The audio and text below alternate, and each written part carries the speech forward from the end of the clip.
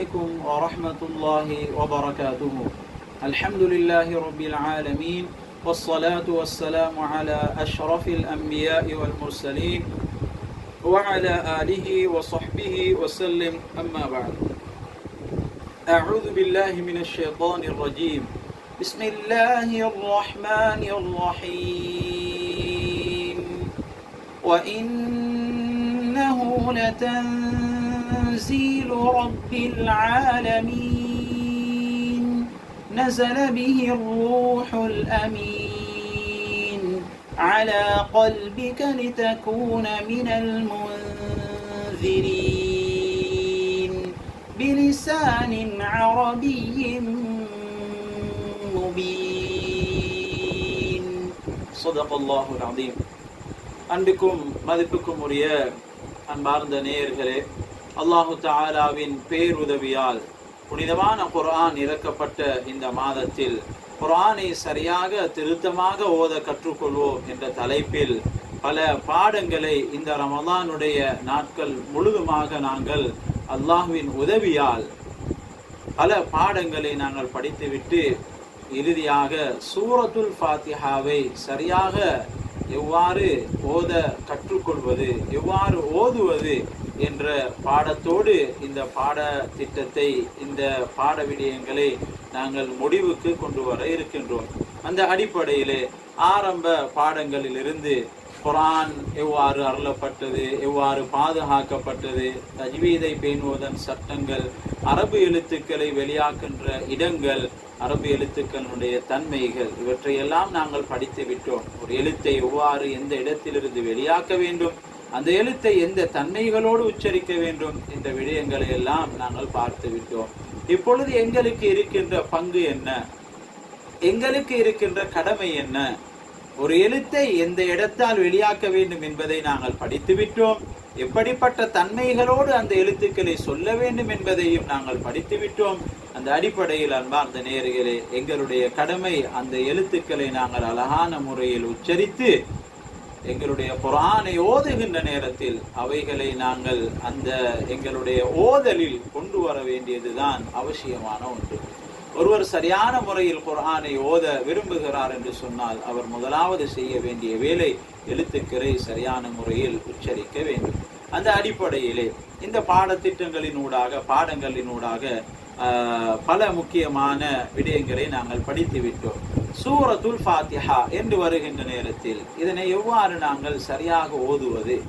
எழுத்துக்களை படித்து விட்டோம் எழுத்துக்களின் தன்மைகளை படித்து விட்டோம் இவ்வோ இப்பொழுது நாங்கள் இந்த ஃபாத்திஹாவை எவ்வாறு சரியாக அழகாக ஓதுவது என்பதனை இந்த பாடங்களினூடாக இறுதியான இந்த பாடங்களினூடாக இன்ஷா அல்லா பார்க்க இருக்கின்றோம். அந்த அடிப்படையிலே சூரத்துல் ஃபாத்திஹாவை பொறுத்தவரையில் ஏழு ஆயத்துக்கள் இருக்கின்றன. சூரத்துல் ஃபாத்திஹாவை பொறுத்தவரையில் ஏழு ஆயத்தில் ஆயத்துக்கள் இருக்கின்றன. இத்த இந்த ஏழு ஆயத்துக்களையும் சேர்த்து நாங்கள் இந்த ஏழு ஆயத்துகளோடு அழுது பில்லாஹி மினஷ் ஷைத்தானிர் ரஜீம் என்பதையும் சேர்த்து நாங்கள் பார்க்க இருக்கின்றோம் அந்த அடிப்படையில் அன்பார்ந்த நேயர்களே ஒரு விடுத்தம் நான் எழுத்துக்களை உங்களுக்கு ஞாபகப்படுத்தி விட்டு சூரத்துல் ஃபாத்திஹாவை ஓதி காட்டலாம் என்று நினைக்கின்றேன் முதலாவதாக இருபத்தி ஒன்பது எழுத்துக்களையும் ஒரு விடுத்தம் கூறுகின்றேன் ஹம்ஸ ப த ث جيم ح خو دال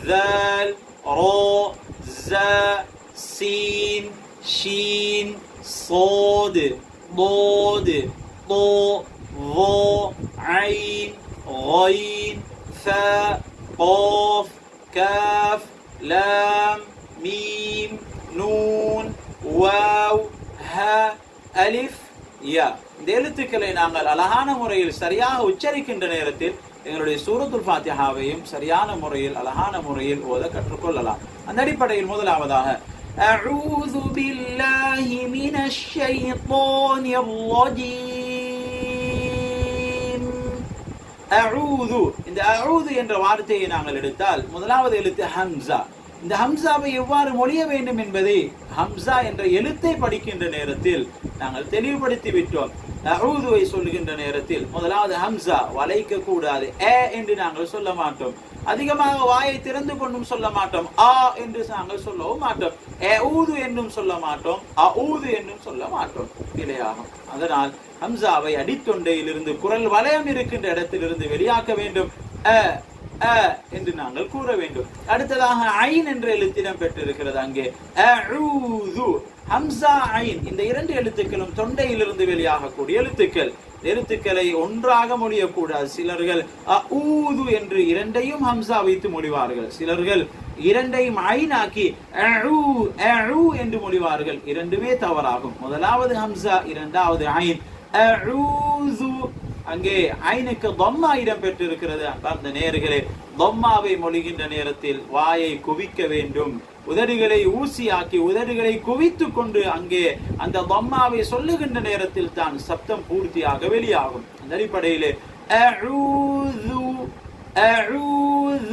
இவ்வாறு நாங்கள் இந்த எழுத்துக்களை முடிவதோடு பில்லாஹி அங்கே கஸ்ரா இடம் பெற்றிருக்கிறது பாஹாவுக்கு அந்த கஸ்ராவை நாங்கள் பூர்த்தியாக்க வேண்டும்.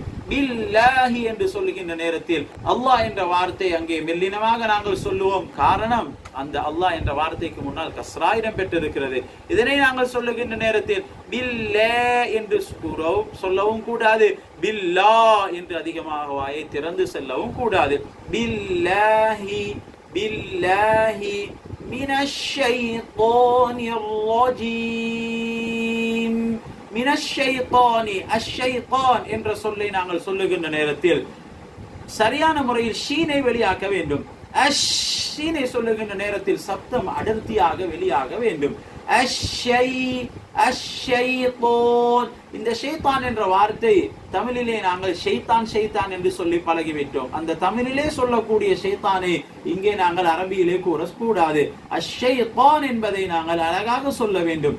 அஷைத்தோன். பா என்ற எழுத்தை எவ்வாறு சொல்ல வேண்டும்? தன்மைகளை கவனித்து சொல்ல வேண்டும் என்பதை எல்லாம் சொல்லி தந்து விட்டோம் அதனால் அஷ்ஷைத்தோன் இதனை நாங்கள் வாயை ஊசியாக்கி கொண்டு காத்தை வெளியே அங்கே வெளியே விட்ட வண்ணம் இவ்வாறு நாங்கள் சொல்லக்கூடாது.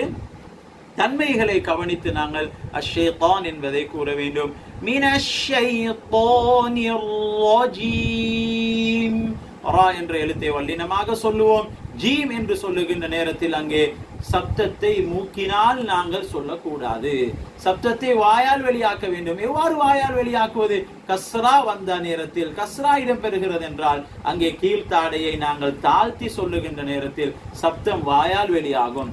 இந்த கீழ்த்தாடையை நாங்கள் தாழ்த்தாமல் சொல்லுகின்ற நேரத்தில் அங்கே சப்தம் மூக்கால் வெளியாகின்ற ஒரு நிலைமையை நாங்கள் உணர்ந்து கொள்ள முடியும். இவ்வாறு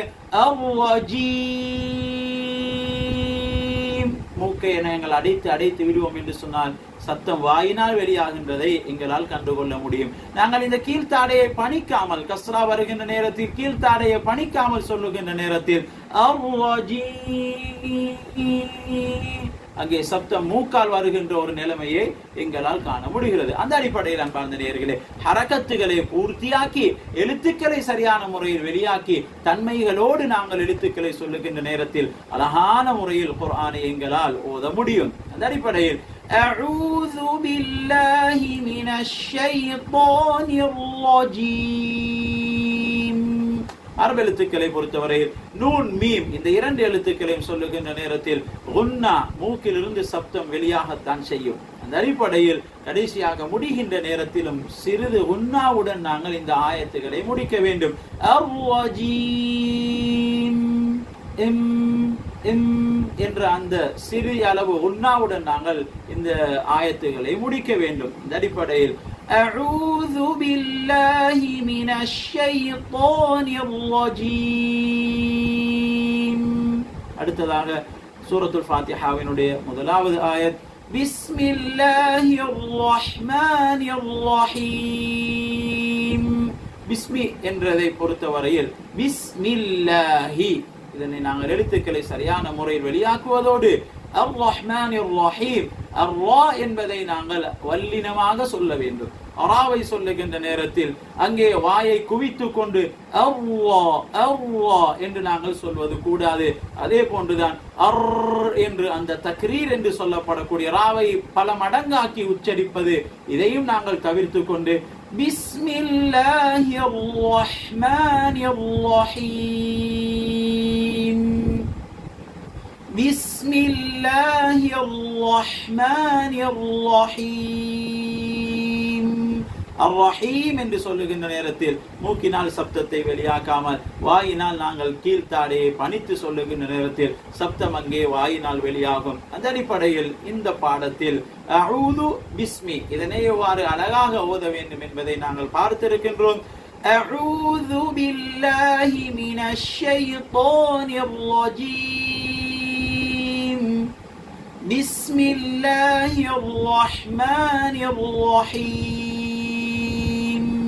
الرحمن என்ற வார்த்தையை சொல்லுகின்ற நேரத்தில் மீமை நாங்கள் வளைத்து சொல்லக்கூடாது அர்ரஹ்மானி அல்லது அர்ரஹ்மானி என்பது என்று சொல்வது கூடாது பிஸ்மில்லாஹி ரஹ்மானி ரஹீம் அன்பார்ந்த நேயர்களே அவுது பிஸ்மி இந்த இரண்டையும் எவ்வாறு நாங்கள் ஓத வேண்டும் என்பதை இந்த பாடத்தினூடாக நாங்கள் பார்த்துவிட்டோம். அடுத்ததாக சூரத்துல் ஃபாத்திஹாவினுடைய ஏனைய ஆயத்துகளை எவ்வாறு மொழிய வேண்டும் ஓத வேண்டும் என்பதை இன்ஷா அல்லாஹ் அடுத்த பாடத்தினூடாக நாங்கள் பார்க்க இருக்கின்றோம். அந்த பாடத்திலே சந்திப்போம்.